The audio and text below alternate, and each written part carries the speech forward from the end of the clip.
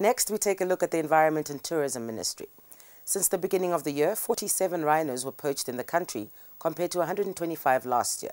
The Ministry of Environment and Tourism has been at the forefront of condemning poachers, but despite their efforts, Namibian wildlife continues to be slaughtered at an alarming rate.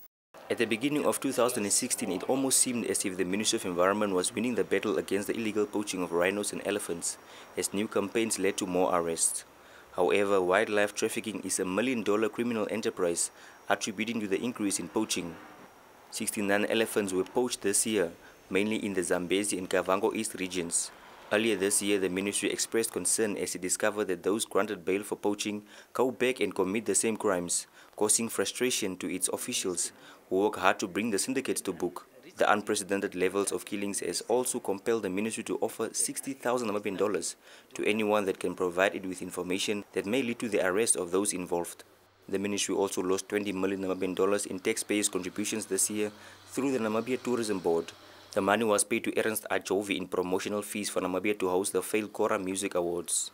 Adjovi later disappeared and could not be found, while local representatives of the awards distanced themselves from the millions taken by Adjovi. The tourism board, in attempt to recover the money, is taking Adjovi to court. The ministry was also caught up in the controversial phosphate mining debate after one of its environmental commissioners issued a clearance certificate for phosphate to be mined off the coast of Walvis Bay, despite public outrage. The ministry maintained that an environmental assessment study to determine the impact was conducted. Eventually, the minister was pressurized into setting the clearance certificate aside to allow for more input from stakeholders.